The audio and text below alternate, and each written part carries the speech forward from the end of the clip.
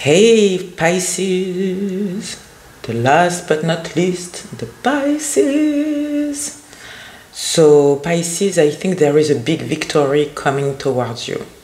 It could be a blessing, but you're gonna be you're going to have a hard time to decide wherever it is truly a blessing if you should go or not if you should take the opportunity or not this opportunity could be anything. It could be work, could be love, could be anything.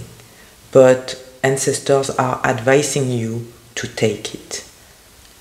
You can you can go.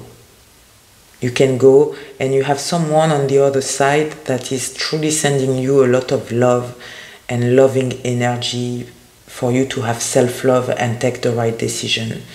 You could you should use the portal 1212 on the 12th with the moon uh, in Sagittarius too that is happening at the same time to meditate and try to find the the answers but I truly believe that you should take the opportunity.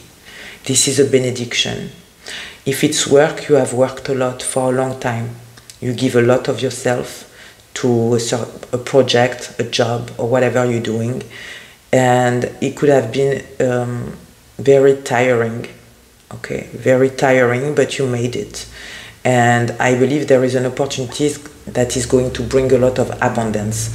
I'm having for you the 10 of coins which is a very good card but you have to take action with this uh, king of wands.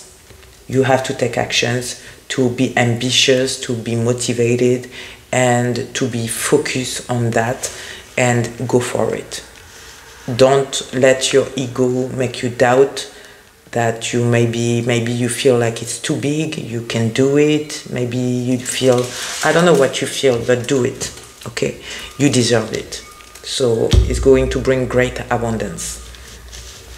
Concerning love, I feel like love is going good for many of you you're going to celebrate uh, uh, the, the holiday with your family or be happy to be where you at celebrate with maybe friends for some of you. Uh, others um, others or partner okay? Friends partner whatever some of you it's great Others, you could have a relationship that you need to take a decision on.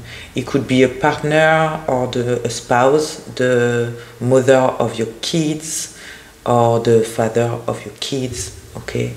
But you need to take a decision. Something is extremely toxic, okay? This person could be a Capricorn, a Libra, Gemini, Aquarius, or a Taurus, or any signs truly, because there is every signs here on this table um, you need to realign yourself so meditate try to find a little bit. You need to go. You hear that that the motorcycle? Yeah. Yeah. You need to go. But i feel like you're gonna go.